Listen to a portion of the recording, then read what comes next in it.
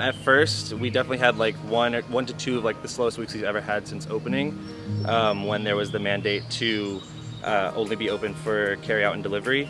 Um, but we worked really well as a team, and we pivoted in a way to um, effectively establish a way of de a delivery program and a pickup system where it was no contact pickup to create a safe environment for our staff as well as our customers.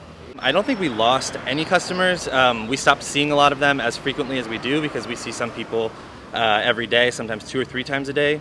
So that definitely stopped. Um, the foot traffic during the day definitely slowed down, um, but the evening picked up. And a lot of the people that used to hang out all day uh, would order dinner for their families or would um, pick up a nice bottle of wine for a date night or something like that.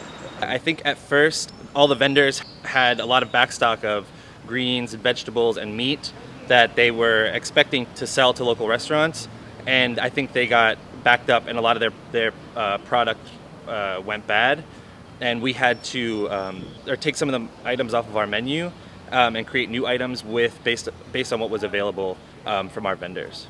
As a whole, a lot of our customers, a lot of our regulars that love us and know us are going to be really excited, and I know some of them are already very excited that the patio is going to be open and that they have a safe place to come um, and have a drink or have lunch with us uh, like they used to.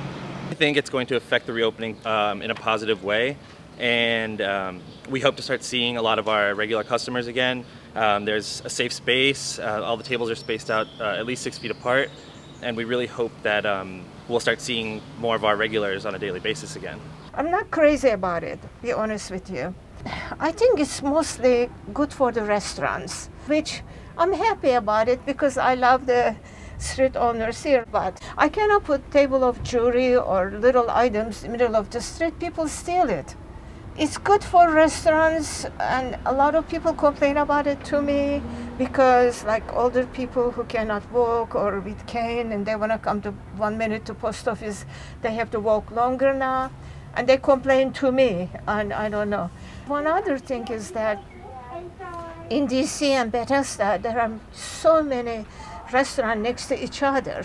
So it's good for restaurants so that people can sit outdoor, whatever. But here, we have only about two restaurants here. I think this is um, a great opportunity to support local businesses. Um, I'm a regular customer of Takoma Beverage Company.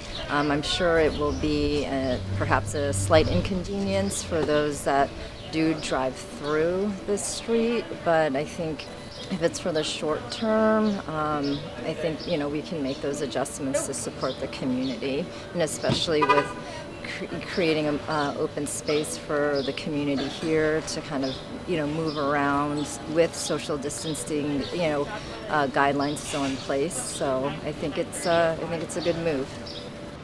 I think it's great that they're actually opening up the streets and allowing uh, people to be able to sit out in public. Uh, you know, it's a little minor inconvenience for traffic, but I think a good thing for people to get out and about.